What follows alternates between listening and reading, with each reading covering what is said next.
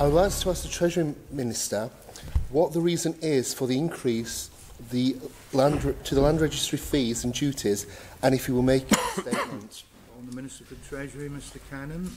Mr President, the changes to the Land and Deed Registry's charging regime is being impl implemented through three companion orders before this Honourable Court today.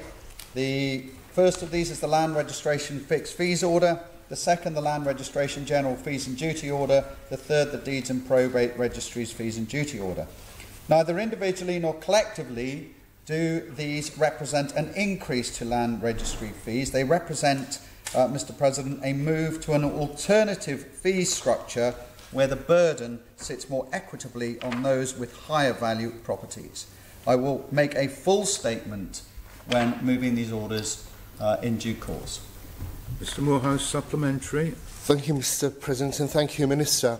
In terms of the progressive nature of these changes, does the Minister foresee changes in other areas to match these changes that is identified? Treasury Minister. Uh, it's impossible to, uh, for me at this current time, to suggest that this has implications for other uh, fee charging structures through government. Uh, our intention was purely to help those on low to middle incomes uh, and more proportionately uh, address those uh, on, on higher incomes in line with what is happening elsewhere. Honourable Member for Ramsey, Dr Allinson. Thank you, Mr President. I'd like to um, thank the Minister for, for his answer. Can I ask him what his response would be to some people who may, in error, assume that this is the introduction of a stamp duty by stealth? Mr Cannan.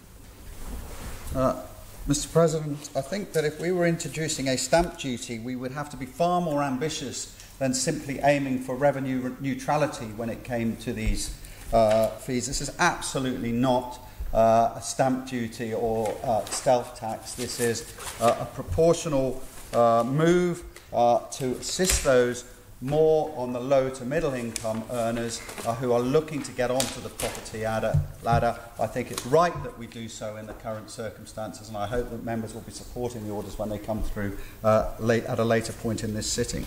Yeah.